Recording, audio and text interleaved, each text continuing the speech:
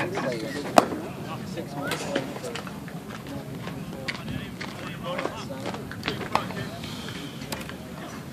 also a big guy. Six five.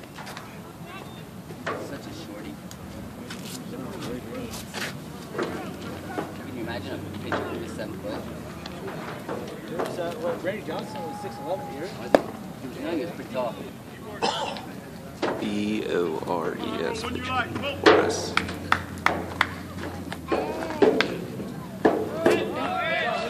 Yeah, oh, go ahead, we'll watch it.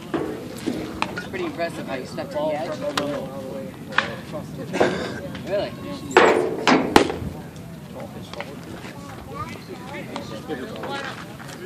Third way down